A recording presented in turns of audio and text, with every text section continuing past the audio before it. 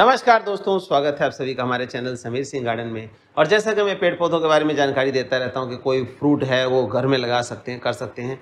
तो आज पेड़ पौधों की नहीं, आज एक फल के बारे में जानकारी दे रहा हूँ जो हमारे लिए अमृत समान है। आप हैरान हो गए, अमृत समान? जी हाँ बिल्कुल अमृत समान है। और वो फल कौन सा है? देखिए, वो फल है बेल पत्थर। बेल पत्थर, बेल का पेड़ होता है, उस पर ये फल लगता है। इसका दूसरा नाम जो है वो श्री फल के नाम से भी जाना जाता है, बहुत ही शुद्ध माना जाता है। और पता है आप लोगों को कि इसका जो पत्ता है, फल है, महादेव, यानी कि शिव जी के ऊपर अर्पित किया जाता है। तो ये फल जो है स्पिरिचुअल तो है ही है, साथ के साथ गुणों का खजाना है। तो आज मैं आपको इसको कैसे इस्तेमाल करना है वो बताऊँगा और क्या क्या गुण है वो भी बताऊँगा। क्योंकि गुण उसमें इतने भरे हुए हैं, हमने छोड़ दिया।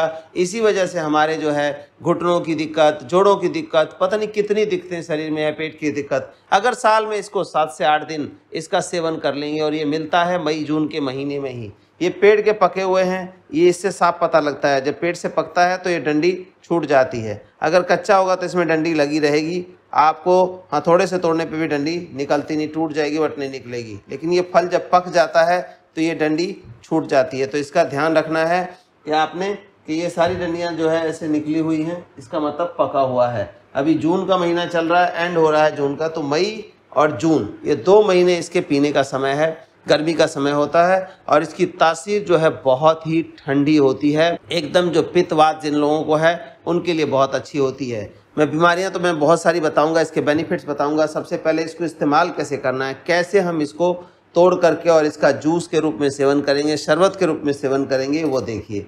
अब मैं ये वाला फल ले रहा हूँ।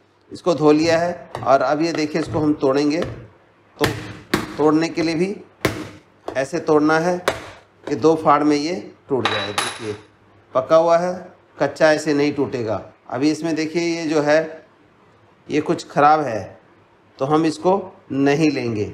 ये अंदर से कहीं ना कहीं से इसको थोड़ा बहुत रहा होगा तो ये फंगस आ गया है। तो इसका इस्तेमाल हम बिल्कुल नहीं करेंगे। इसका जो इस्तेमाल करेंगे, वो पौधों में इस्तेमाल किया जा सकता है, इसका तरीका भी मैं आपको बताऊँगा। अब हम दूसरा तोड़ लेते हैं। ये देखिए। काफ़ी हार्ड होता है और कोई चिड़िया भी इसको नहीं खा पाती है। इतना हार्ड रहता है। तो हमें खाना है। तो ये देखिए। ये बढ़िया निकल के आया। और इसका हम क्या करेंगे? इसके जो पल्प है वो इस तरह से इसमें निकाल लेंगे। इसके लिए आपको सामान लेना होता है। दो पतीले लेंगे, एक छन्नी लेंगे। और जो मीठा है, मीठे के रूप में चीनी का इस्तेमाल कर सकते हैं, लेकिन चीनी थोड़ी हानिकारक होती है। तो हमने मिश्री को घोल लिया है पानी में, वो मैं दिखाता हूँ आपको। तो ये देखिए, इस तरह से हमने इसको निकाल लेना होता है। इसके पल्प को निकाल लेना है, जो इसके छिलके के साथ लगा हुआ उसको भी हम निकालेंगे।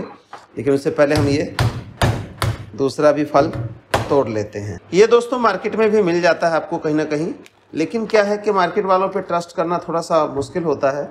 अगर घर में आप ओरिजिनल करें तो ज़्यादा बेटर है। वो कुछ ना कुछ कलर और चीनी, मीठा ज़्यादा मिलाते हैं क्वांटिटी बढ़ाने के चक्कर में। तो वो बेटर नहीं है। ये घर में अगर ले लें तो ज़्यादा बेटर है। तो देखिए घर में हमने ये निकाल लिया। अब ये चम्मच उठाया और इससे जो पल्प लगा हुआ है इसके साथ, छिलके के साथ वो हम निकाल लेंगे। ये देखिए। ये पल्प हमारा ऐसे निकल जाएगा। थोड़ी मेहनत है, लेकिन साल के अंदर छः से सात दिन। एक हफ़्ता मतलब आप पी लेंगे तो जो आपकी दिक्कतें हैं, जीवन में संबंधित जो शारीरिक दिक्कतें हैं, जैसे जोड़ों का दर्द है, पेट की दिक्कत है, डाइजेशन की दिक्कत है, किसी भी तरह का, या कमज़ोरी की तो वो सब ख़त्म हो जाएगा। मैं दिखाता हूँ कि कैसे कैसे ख़त्म होने वाला है। साथ साथ बेनिफिट के साथ साथ ये बनाने का तरीका जान लें, ताकि आप सभी इसको बना सकें। तो शरीर में जो हमारे जॉइंट्स हैं, उनको लुब्रिकेशन के साथ साथ मजबूती के लिए और कैल्शियम का बहुत बड़ा बढ़िया सोर्स इसको माना जाता है। जैसे मैंने दिखाया कि वो ख़राब है तो ख़राब वाले को हम क्या करेंगे? इस तरह घोल के और पौधों में हम डाल सकते हैं। पौधों में डाल के उसमें काफ़ी न्यूट्रिशन की कमी जो है वो दूर की जा सकती है। पल्प हम निकाल चुके हैं और पल्प जो है हमारा यहाँ कट्ठा है, ये देख सकते हैं आप। इस पल्प को हमें क्या करना है, अब इसको मैश करना है अच्छे से और मैश किसी और चीज़ से नहीं होगा, हाथ से ही मैश होगा। तो मैश करने के बाद हमें मैश करने से पहले जो है, ये देखिए हमने मिश्री घोल के रखी हुई है और ये मिश्री वाला पानी इसमें डाल देंगे क्योंकि थोड़ा सा गर्म है ये। थोड़ा सा गर्म होने की वजह से जो मैश करना इजी हो जाएगा। तो जैसे मिश्री मोटी मोटी होती है, घुलती नहीं है, जल्दी चीनी तो फिर घुल जाती है, लेकिन चीनी हम ले नहीं रहे हैं। तो मिश्री का पानी हमने लिया। अब इसको देखिए ऐसे। इसको अपने बिल्कुल हाथ से ऐसे मश कर लेना है। अब इसमें क्या है कि जो बीज के साथ गोंद था, ये था, सभी चीज़ें इसके अंदर आ जाएगी। अब इसका हमें जूस या शरबत कह लें कि इस तरह से बना लेना है। ये मीठा भी मिल गया इसके अंदर और पूरी तरह से मैश करके इसको हम छान लेंगे।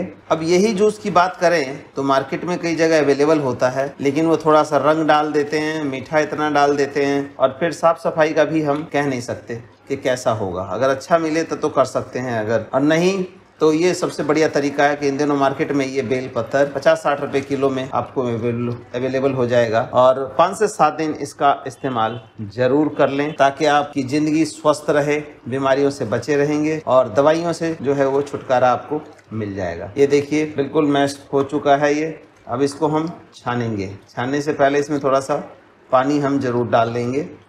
और पानी कितना डालेंगे कि ये थोड़ा पतला हो करके ईजिली छन जाए। तो ये देखिए, ये पानी जो है हम इसको इतना मिला लेते हैं और थोड़ा सा हमने पानी ठंडा लिया है ताकि पीने में आसान लगे। बहुत ज़्यादा ठंडा नहीं, थोड़ा ठंडा। अभी देखिए, मिला के ये हल्का हो गया है। अब इसको हम छान लेंगे। अब हमें दूसरा पतीला लिया और ये इस तरह का छन्ना या दूसरा भी आपका स्टील वाला लेना। प्लास्टिक वाले में थोड़ा मोटे दाने का होना चाहिए ताकि इसके पल्प जो हैं, वो सब हमारे इसमें आ जाए। बहुत पतला छन्ना नहीं लेना है आपने। ये देखिए, ये हम इसमें डाल लेंगे। ये हमारा सारा इसके अंदर आ गया और ऐसे नहीं निकलेगा क्योंकि गाढ़ा काफ़ी है। आपको हाथ का इस्तेमाल करना पड़ेगा, ये देखिए। ये इस तरह से हिलाते रहेंगे और ये छन के देखिए कितना बढ़िया गाढ़ा पल्प तैयार हुआ है हमारा। और जैसे जैसे ज़रूरत पड़ेगी तो हम इसमें पानी डालते रहेंगे ताकि ये इजीली घुल के और सारा इसका हमारा जो पल्प है वो निकल जाए। ये देखिए। अब क्या हो गया कि नीचे जो है ना, पतीले में ज़्यादा हो गया है। तो ये जल्दी से निकलेगा नहीं। इसके लिए हम क्या करेंगे कि इस पतीले को हम हटा लेंगे और जो ये पतीला है, इसके ऊपर ऐसे रखेंगे। इसमें थोड़ा सा पानी और डाल देंगे। ये देखिए, ये डल गया। अब इससे हम, इसको जब तक पूरी तरह से हमारा निकल ना जाए, देखिए अभी इसके अंदर काफ़ी पल्प है। तो इसको पानी डालते रहेंगे और इसको धोते हुए, निकालते हुए हमारा सारा का सारा जो यूज़ है, वो कंप्लीट आ जाएगा। ये थोड़ा सा पानी ऐसे डालेंगे और इसके साथ मिला के फिर हम ये देखिए। अगर हमें सात दिन इतनी मेहनत करनी भी पड़े और हम पूरा साल फिट रहें तो उससे बढ़िया कुछ हो नहीं सकता। क्योंकि बीमार पड़े हॉस्पिटल में एडमिट हों और दवाइयाँ दुनिया जहान की खाएँ, उससे कहीं बेहतर है ये। और बहुत सारी बीमारियाँ, जैसे कि मैंने बताया अर्थराइटिस वालों को या पेट की दिक्कत है, या जो हड्डियों जॉइंटों की दिक्कत है, जिनको इन सभी के लिए बहुत बढ़िया चीज़ ये बन के तैयार हो गई है। देखिए, इसमें भी इतना निकल गया और उसमें भी निकल गया। अब ये लगभग जो इसके अंदर आप देख रहे हैं, ये सारा हमारा ख़त्म हो चुका है। थोड़ा बहुत है तो इसको हम फेंक सकते हैं। लेकिन फेंकने से पहले देखिए, ऐसी जगह फेंकिए कि देखिए, जो बीज जो है, ये सारा जर्मिनेट होगा। रेनी सीज़न आगे आ रहा है, बरसातें शुरू भी हो गई हैं, ये पेड़ में कन्वर्ट हो जाएगा इनका बीज, और जगह जगह आप इस बीज को बो सकते हैं या इससे उगे हुए पौधों को लगा करके पेड़ पौधे भी बढ़ा सकते हैं। बेलपत्र एक बहुत ही अच्छा पौधा होता है। इसके पत्ते जो हैं डायबिटिक हैं लोग, उनके लिए बहुत अच्छी चीज़ होती है। अगर चार पत्ते डेली का इस्तेमाल किया जाए तो डायबिटिक पर्सन भी बिल्कुल ठीक हो सकता है। साथ ही साथ शरीर की मजबूती के लिए जॉइंट की मजबूती के लिए अर्थराइटिस के लिए, पेट संबंधित दिक्कतों के लिए, पित्त और बात, जिनको फोड़े फुंसियाँ ज़्यादा होते हैं, उनको ये चीज़ें ज़रूर लेनी चाहिए। तो देखिए, एक बेल पत्र के कितने गुण हैं। और बनाने का मैंने तरीका इसलिए बता दिया है कि बहुत सारे लोग कहते हैं, इसको खाया कैसे जाए? खाने वाले तो वैसे भी फोड़ करके खाते हैं, लेकिन ऐसे खाने का समय नहीं है किसी के पास। तो इस तरह किया और दो गिलास जो है पी लेंगे। हम चार लोग हैं फैमिली में और चारों देखिए पूरा पतीला भर के है। आज जो है नाश्ते के साथ हम इसको पूरी तरह से सेवन करेंगे। यानी कि इतना देख लिया आपने, मैं लगभग बारह पंद्रह किलो लेकर के आया हूँ और इनका जो है सात से आठ दिन में दो दो फल डेली ख़त्म करेंगे और सात से आठ दिन में पूरा हो जाएगा कोर्स हमारा पूरे साल के लिए। तो आप भी इसको फॉलो करें, लाइक करें और किसी तरह की जानकारी है तो हमारे WhatsApp number triple nine six nine two eight five one seven पे ले सकते हैं। ये हम प्रोवाइड अभी नहीं करा पाएँगे। आपको मार्केट से लेना पड़ेगा। हाँ अगर बुक करना है तो अगले साल के लिए प्रोवाइड करा सकते हैं।